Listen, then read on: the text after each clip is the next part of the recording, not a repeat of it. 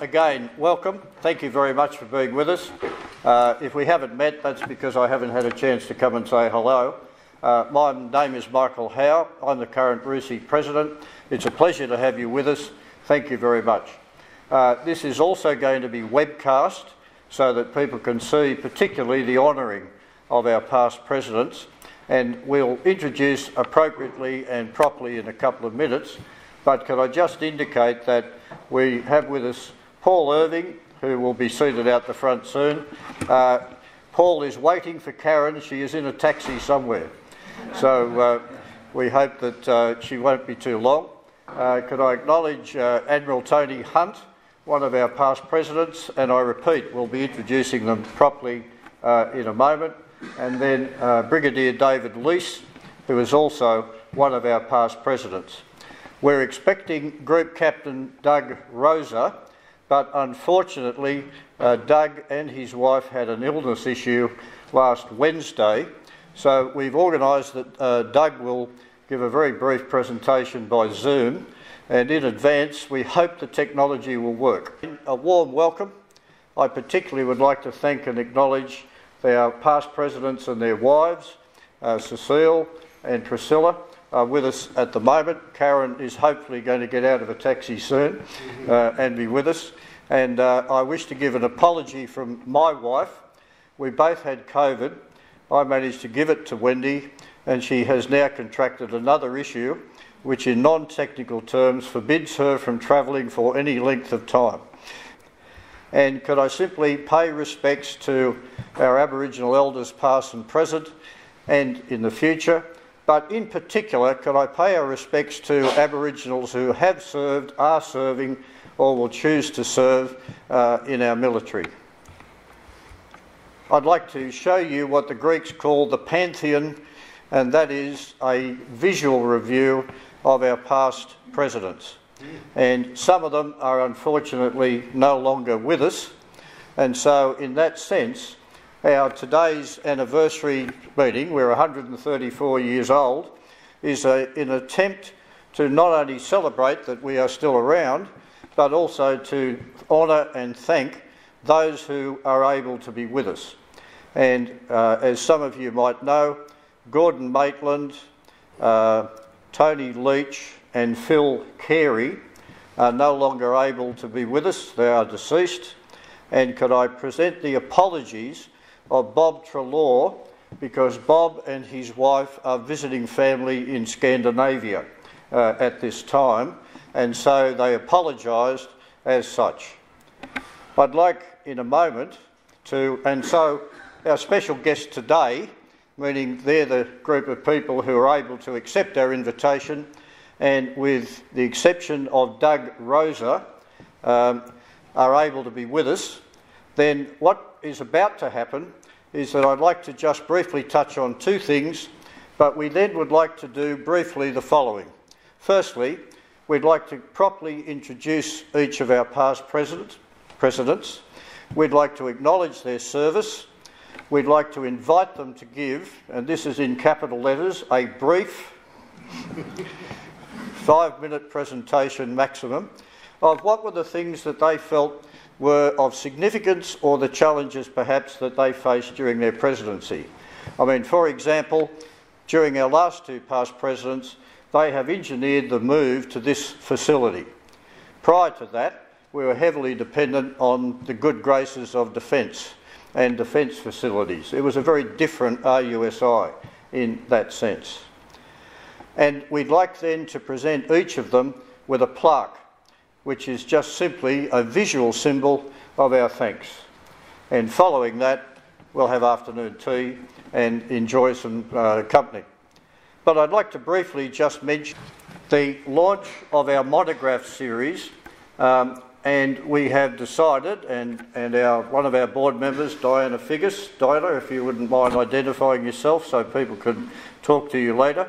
Diana has taken charge of that uh, we have registered a symbol uh, and copyright, the Javelin Collection, and so we have launched, and uh, Diana's father was one of the coast watchers in World War II.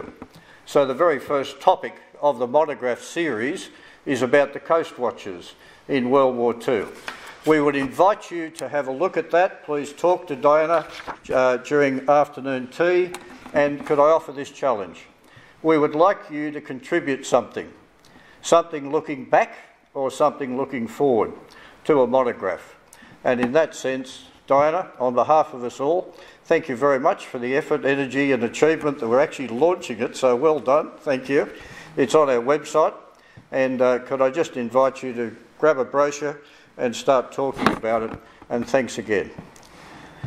Well, what I'd like to do is to begin with, if you could look back with me, um, we have with us Rear, uh, Admiral Tony Hunt and Cecile.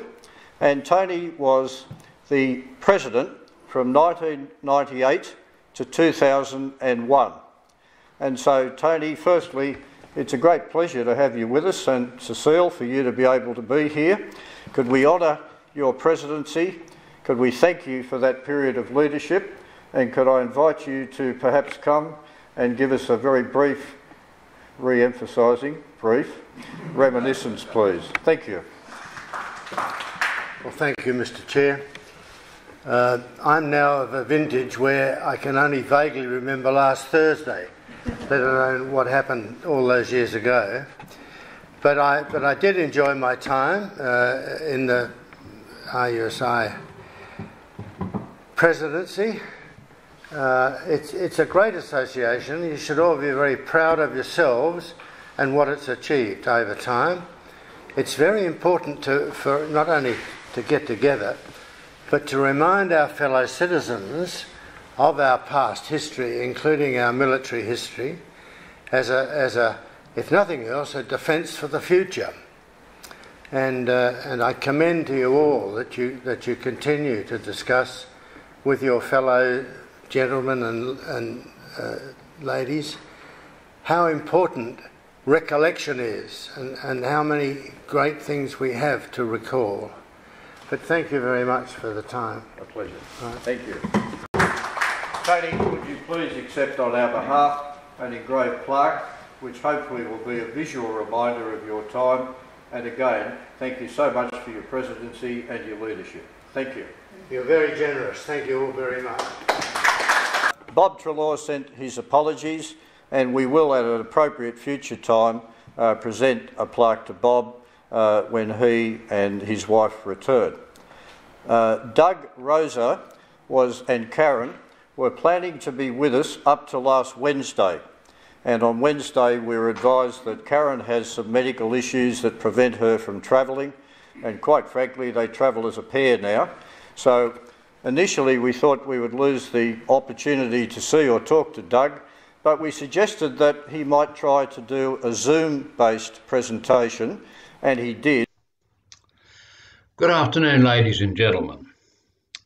I joined the RUSI of New South Wales Council in September 2005, and I was then the president from 2011 until 2013. One of the benefits of working for RUSI is that human activities are a continuum and build on the work of others and the responsibility is then passed for the next person to continue. And reflecting on the progress of the committee, I recall the many projects commenced under the guidance of my two predecessors, Phil Carey and Bob Treloar. Let's turn to the library. While I was a committee member from 2005, I focused on the library. Initially, we had a library committee which selected books, but then we developed a library development committee. This started many of the changes to our library system.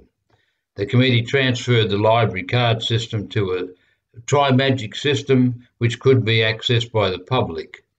Ken Broadhead also conducted over many years the identification and holdings of our trench maps. In addition, we moved the records of RUSI from the lower levels of the Defence Force Plaza to the library situation on the 20th floor. We also disposed of many of the paperback books. And thanks to Jan Titcomb and Theo, the library development project continued. In 2011, we applied to the National Library Council of Australian Community Heritage Grants Programs for a significant assessment of the library. This was conducted in 2012 and concluded.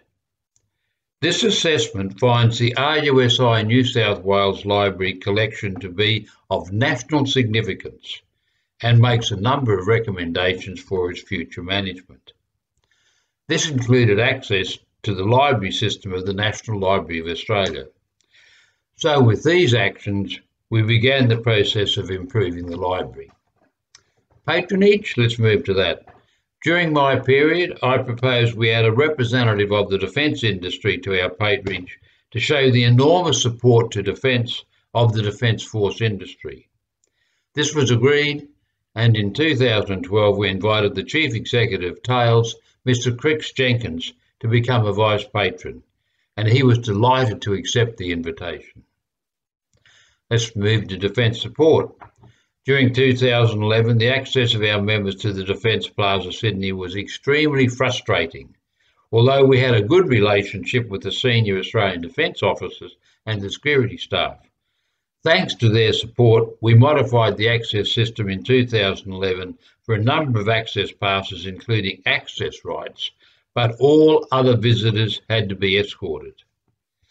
In 2011, we agreed to have all representations at the Sydney Mechanic School of Arts, and this increased the number of visitors to our lecture in 2011. Strategic planning, a strategic planning session was held under the guidance of an external facilitator in January 2011.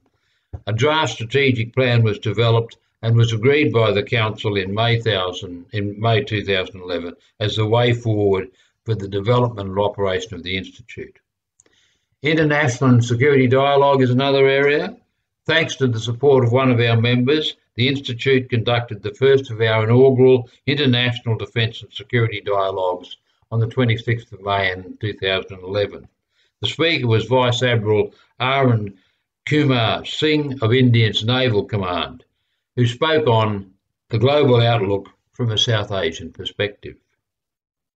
Visit to the events to the library Uh, and our events. The conductor of events and continues under the leadership of Bob Treloar, and we have continued to have a wide range of events which have been greatly appreciated by the members. Website. During the period, we improved the management of the website under the operation of James Oglethorpe, a counsellor, and the office manager. It was further developed and continues to provide an excellent window to our institute by the wider community. Many changes were made to it to improve its appearance, ease of use, efficiency, and its interface with other links.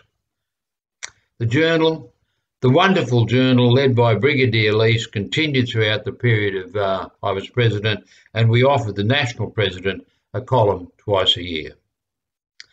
Thank you. That's my summary for the five minutes. And in retrospect, I thank the Association for the support of our activities and for the wonderful committee who contributed so much for the association during my period. Thank you all.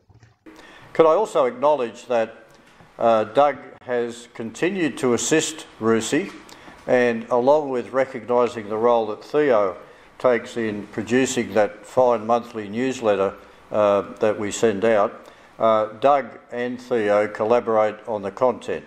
So if you are a recipient of our newsletter, uh, that's something that Doug continues to contribute uh, from his home on the Central Coast. And we will be presenting him uh, with a plaque uh, in a similar uh, way. That's a very nice way of segueing into recognising our next past president, and that's Brigadier David Leece and Priscilla, um, because David has continued to contribute to RUSI in a most significant uh, range of extra ways, uh, as well as his contribution as president from 2013 to 2016. Many of you would know that uh, David continued to edit United Service uh, until very recently when he handed over to Colonel Joe Matthews. Uh, I can tell you as recently as this morning, I read an email exchange where David was again assisting with United Service, uh, in the sense of some editing challenges that were going on. And as you know, uh, David has remained a very solid supporter and is also head uh, or co head uh, of the Special Interest Group. So it's with great pleasure that I'd like to acknowledge, ask David if he could give us a brief review, and then present David with a plaque to honour his presidency of RUSI from 2013 to 2016. And so, could you welcome Brigadier uh, David Leece? Well, thank you, Mr. President, for that, uh, those words of welcome. I would like to uh, just uh, uh, say that Doug Rosa spoke about how one president sort of is a continuum to the next president, to the next president, to the next president. And that's really the way we've been, been working in our corporate governance, if you like. Um, when I took over as president in, in 2013, it was uh, most of the policy decisions that needed to be made had already been made, either by the council that uh, was led by uh, um, Bob Treloar or the council that was led by uh, um, Doug Rosa. And uh, my role was to ensure that those decisions which had been made were effectively implemented. That was broadly what my what, what, what I did. Um, but the council, during my period of leadership, we introduced three separate programs plus a series. We organised our work in three separate programs a research program, an educational program, and a social program. And then we had a series of services which we provided to members and to the wider community to back up those programs. And the, uh, the research program was uh, um, strongly assisted. Doug referred to special interest groups. We introduced special interest groups, got them established. There were three of them one for special interest group on strategy, special interest group on military history, and a special interest group on defence industry. We made great progress with the special interest group on strategy and also the one on military history. We, uh, we really struggled with the one on defence industry, though, I must say. Um, we couldn't get the interest of our members, uh, apart from one or two, in the defence industry side of the exercise. However, um, the uh, strategy special interest group was able to do uh, a lot of work on the what was to have been the 2015 Defence White Paper, which became the 2016 Defence White Paper, and the Institute made a submission on that. We also made a submission on a, another uh, exercise that the, uh, the government asked for information on. I just can't recall the name of that just off the top of my head. And we made two submissions to government, uh, the research for which had been done by the Special Interest Group on strategy, on military history.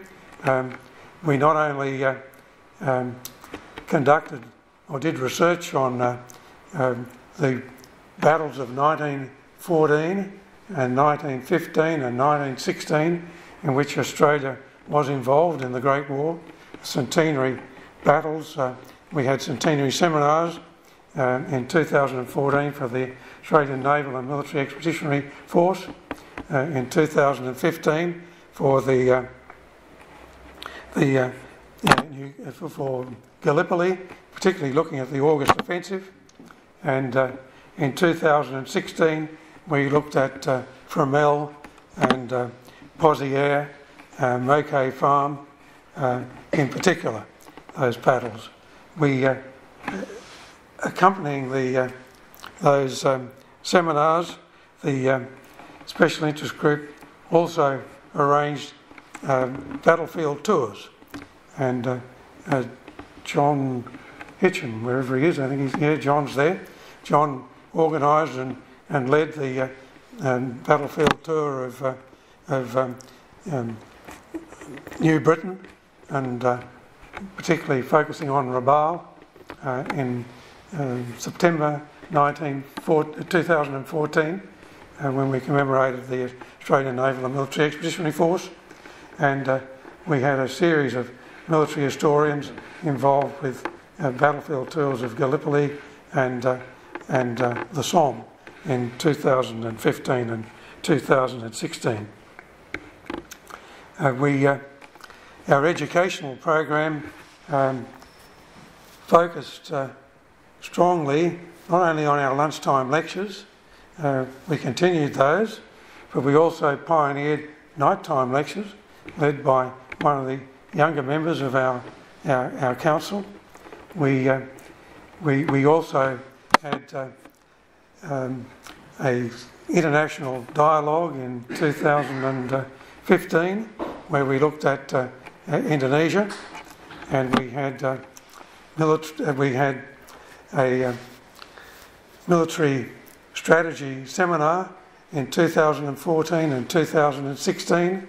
Um, the 2014 one looked at amphibious operations, and the 2016 looked at the new uh, uh, areas of uh, cyber and, uh, and space, uh, the new uh, um, areas on which defence was coming to focus. The services that uh, we, we offered um, continue to be the library. Uh, Doug focused on the, uh, the um, new one, the uh, monthly newsletter, but uh, Theo also introduced fortnightly uh, events notices, and we can continue, of course, with the, with the journal. Um, one of the big challenges we had, though, was in the governance and administrative areas, and uh, I guess the biggest challenge, or there were two big challenges. One of them was our finances. Over six-year period up to about 1915, up to 2015, we'd uh, operated at a total loss of $98,000 and we had to arrest that. We introduced uh, uh, fees for attendance at our lectures to cover the cost of lectures so that we could run lectures at, uh, at cost. And uh, we very, very reluctantly had to do away with the services of a paid librarian and office manager. And that was a very, very difficult decision to take there's one we had to do to arrest the situation. We are hoping to be able to get back. I understand the new board hopes to be able to reintroduce on a modest basis and paid staff, but we've been operating totally with volunteers for about the last six to seven years. Um, and that was one of the steps we had to take to arrest the uh, position we had with our finances. The second issue, which Doug alluded to, was the, uh, uh, the problem of working with Defence and working in Defence Plaza. Uh, while Doug was running the show, um, we sent out one of our vice presidents, um, Air Vice Marshal uh, um, um, Short, to uh, uh, have a look at all the various libraries in Sydney to see whether we could get any of them to take over our library. And Bruce came back and uh, reported to the council that uh, if we wanted to do keep our library as a library of national significance, then we wouldn't be able to hand our library over to any of the other libraries. What they all wanted to do, the University of Sydney, State Library of New South Wales, Mitchell Library, and so on, what they wanted to do was to um, pick the best of our books and add them to their collection, take the rest of our books and sell them and make money. And that money that they made would help them maintain the books that they were taking from us. But if we did that, if we didn't keep the collection together, it would cease to be a collection of national significance. It was only of national significance because it was a a collection which had all those books which people could look at in the one location. If we cherry picked the collection, it would cease to be a collection of national significance. And um, Bruce said there were there's one option.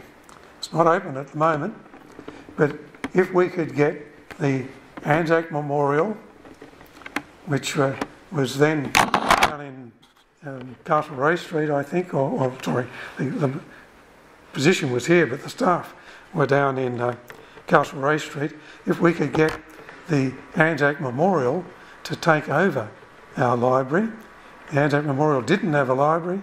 They wanted a library. The trustees wanted a library. If we could get them to take it over, that that would be the only option he could find where we could keep it together as a collection of national significance. And uh, well, I had a when I took over, it was my job to negotiate with the trustees to see if we could do that. Um, I, Brad Manera, who was the senior historian, was very keen for us to do that and to, to help us. Uh, and he would like to link the two organisations, but we ran into a number of roadblocks. Now, getting us here, I was just organising the, with the, the aid of John Rudd, who was our secretary at the time. We did the detailed negotiations and, and worked out the, the MOU to get here. And uh, the, then I was lucky enough to be able to hand over the responsibility for actually making it happen to my successor, uh, Paul Irving. It was probably about this point in time I should let you get Paul Irving to tell what happened. Well, before we do that, and on behalf of uh, Rusi and the board, David, could I present you, please, with a plaque, oh. which we hope is a tangible reminder and our debt of thanks. Thank you very much. Well, that's Thank very you. kind of you. Thank you very much. And motivated by the smell which is coming from this side, which is uh, very inviting, uh, it's my honour to recognise and introduce Paul and also to acknowledge Karen. Lovely to have you with us and thank you. And um, could I just say, many of you would know that Paul is a man of immense energy and an enormous commitment to a range of activities. So, as well as being president and now past president, and he's extremely active and supportive. Paul is our library manager, and one of our senior volunteers. At the same time, probably because he doesn't sleep, uh, he's president of the Defence Re- uh, Reserves Association, uh, and he's also taken on the role of president of Rusi National. Um, uh, all I can say is that I think this represents a great deal of not sleeping, tolerance from Karen, and a great commitment to what we are trying to achieve. It's my great pleasure and honour to recognise and welcome our immediate past president, Paul Irving. Paul. Thank you very much. I, I just uh, point out there's a, a, slight error on the slide there. I was actually president from 2016 to 2020. Um, and I thank David for leaving me uh, all the hard work to organise to get Rusi from Defence Plaza uh, to into this magnificent facility, which I see as our permanent home, and I see the library here being a wonderful gift to the people of New South Wales to celebrate the 100 years since the end of the Great War in 2018. Um, it was a monumental task, um, and I didn't do it on my own. There were lots, lots of help, lots of assistance, and lots of volunteers. I think the first thing I had to do was build a relationship with the memorial staff. Unfortunately, they were actually in, an, in a civilian building uh, opposite Defence Plaza.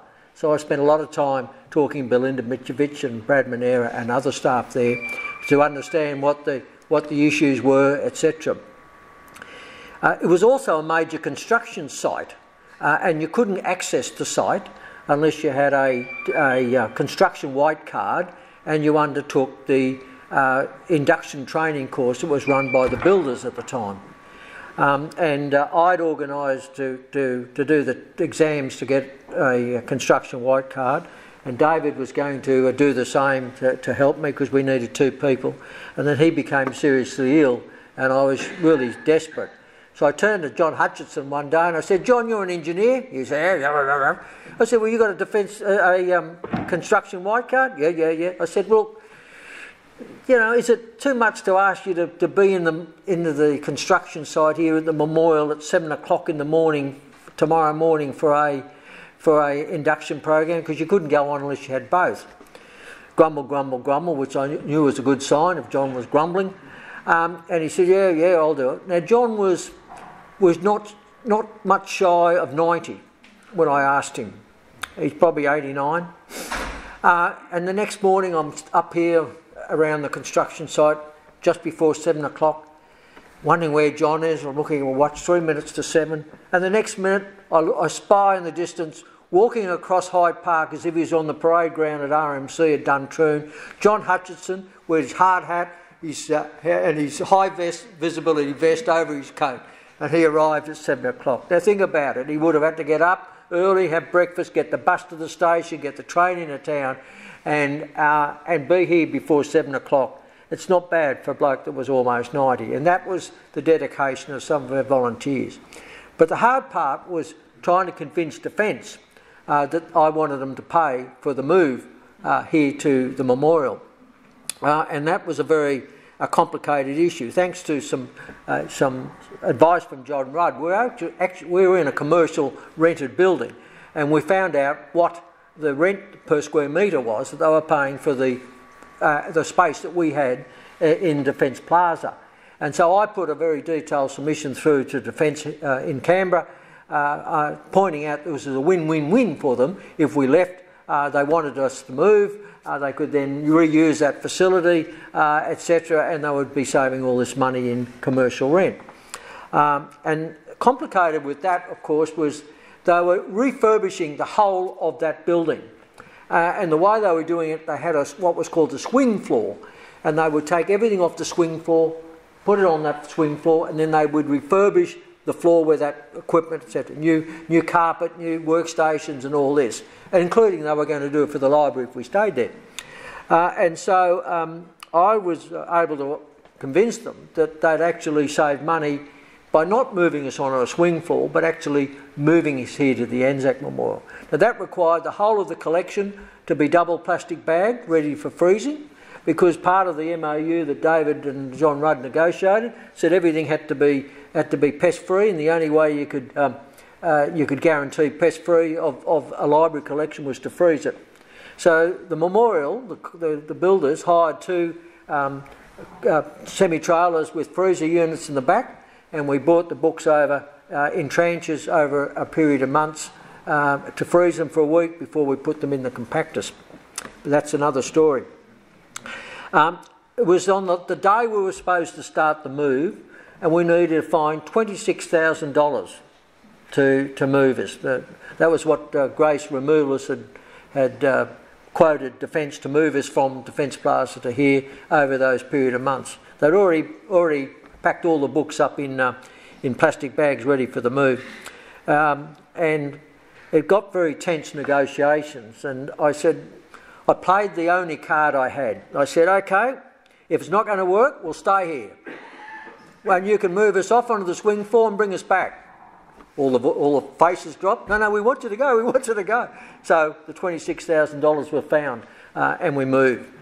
But then we had to work out how we're going to move. Because first and foremost, we were going from an area which is much bigger than this room, much, much bigger than this room, to an area about a tenth of the size of what we had. And part of that is we had to uh, have our own compactus, um, which was previously, which was uh, something we didn't have in Defence Plaza. Everybody could walk around the shelves and look at the books. And thanks to the hard work of, uh, and compactuses aren't cheap, we, I think we visited just about every, every organisation in Sydney that had compactus, including the, the, the Reserve Bank, Ken's uh, old uh, employer, and they had, they had an electric operated compactus, which was state of the art. Except they had a flood one year and it, uh, it, it, it couldn't move anything because the, uh, the motors burnt out. But we, we, ended, we needed $60,000 to buy a compactus, and we didn't have 60,000. And thanks to the wonderful support by Michael Flynn, where he's able to obtain sponsorship, we were able to purchase the compactus. Um, thanks to the work of people like Ron Lyons, who's an expert on compactors, and we put it every, every way, which way to work out how we could maximise the space, and to John Rudd, um, we were able to uh, organise a compactus that would fit it in that space. It is very tight and complicate things that right on, the, on one wall in the compactus room, there's an internal door. Because when they built the memorial, we're on the, on the outside wall, on one wall, it's a hollow wall. And so there's another wall next, and it's got a door in there, so you can actually walk between the two walls where they can inspect all the services, etc. And so everything had to be designed on wheels so we could wheel the table out, wheel the th- other things out so we could get access to the door. And thanks to John Rudd, uh, who unfortunately is not here today, uh, all of that work was done. Uh, he put the plaques up, he organised uh, the, the, the, ladders, where to put the ladders and everything. It was all done very, very well. But the, the real interesting thing was uh, to bring the, the books into the library. Um, it was still a construction site. There were no paths, there was no concrete, there were no steps. Uh, they had bits of plank down uh, over the mush and the concrete and the mud um, and we had to bring it all the way down and bring it in through the water cascades, which weren't completed. Neither was the tiling completed. And when we got, finally got it into the compactus room, there was hardly any lighting. Uh, and we were trying to unpack the books, take them out of the plastic bags, and make sure them they're in the, they're in the right order.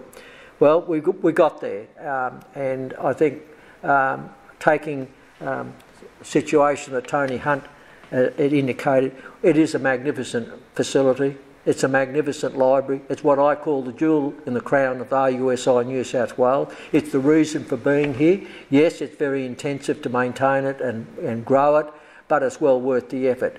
And recently, uh, our former president, uh, um, who uh, Phil Carey, uh, his family donated his collection, uh, 37 cartons of books. And realistically, if, he, if you went out and bought that collection today, you would spend more than a million dollars. That's how good the collection is. And that's been brought into the library. Um, and it's, uh, that, it's just one of the growth, it's one of the things that we do. And we get some, some really interesting people coming through as a result of having this facility. Um, yes, it was hard work, but it was worth it because we're here. And As I said, it's a magnificent facility. We have wonderful relations with the Anzac Memorial staff. They do so much for us, uh, and I really mean that. Uh, I had to take some books out, uh, 30, uh, our old um, War of Rebellion collection, uh, to sell. Uh, 137 volumes, 138 volumes. Uh, and one of the staff was here at seven o'clock in the morning to help load up the car, etc., and take them out. That's the sort of support and assistance we get. And we must, one of the ironclad uh, issues we must continue is to continue that wonderful relationship with the memorial staff. Um, thank you for your, your attendance today. Uh, it's been a great journey, and I thank David Leece in particular uh, for not only organising the MOU, the Memorandum of Understanding that, that, that got us here, uh, but continuing to provide good quality advice for me over my four years as President of RUSI New South Wales and continuing to provide advice to me as the National President. So thank you, David.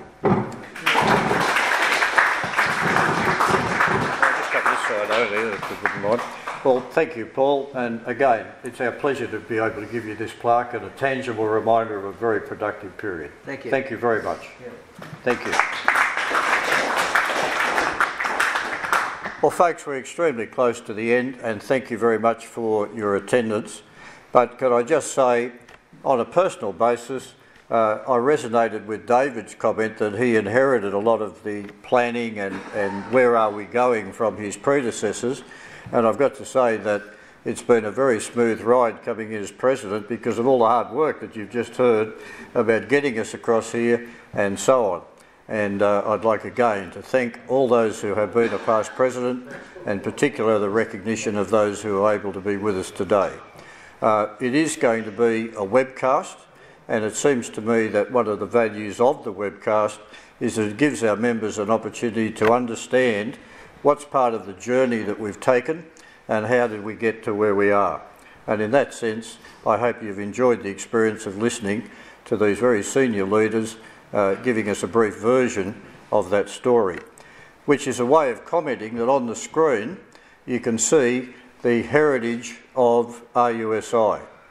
And we, in that sense, are a very significantly older organisation in Australian history terms.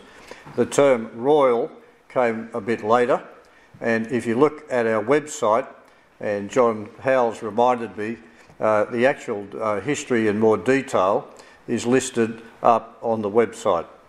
But if, in the unlikely event, you've not been across to our library, could I urge you to have a look because it is the oldest uh, library of national significance of a military kind, and it's a great privilege to firstly that we have it, and secondly, we're in such a magnificent location. Could I thank you very much for being with us and celebrating our birthday today. We're going to ask the, the past presidents and their wives if they wouldn't mind we could have a photograph in this corner uh, or out this side, and that is a request. Please don't eat all the good food because you're going to be there quicker than us, and uh, we're the ones that have done the work. You've sat back and listened. But regardless, that was a gentle and hopefully humorous way of saying thank you so much. Thank you for being with us.